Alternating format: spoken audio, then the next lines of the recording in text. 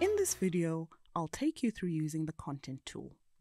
The Content tool is used to share learning materials with students and optionally for linking learning materials with learning activities, for example, assignments or quizzes, and describing the learning pathways students should take. For those of you familiar with Vula, the Content tool has similar functions to both the Resources and Lessons tools. You can access content on the nav bar here. The Content tool is organized into units.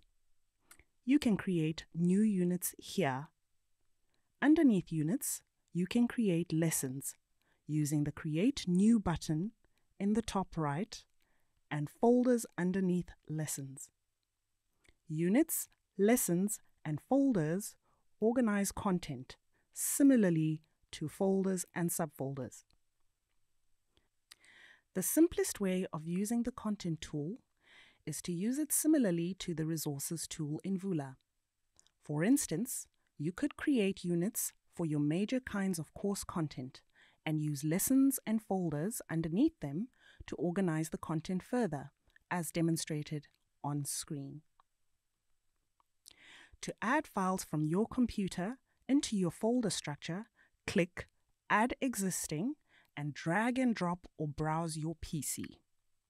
You can hide or unhide content using the Visibility tool and move content by dragging and dropping it into place. The Content tool can also link learning materials with learning activities like assignments, quizzes, and discussions, as well as instructional text to build learning pathways. This is similar to how the Lessons tool could be used in Vula. To add learning activities, click Add Existing if you've created them before, or Create New to make a new learning activity. To add instructional text, click Create New and select HTML document.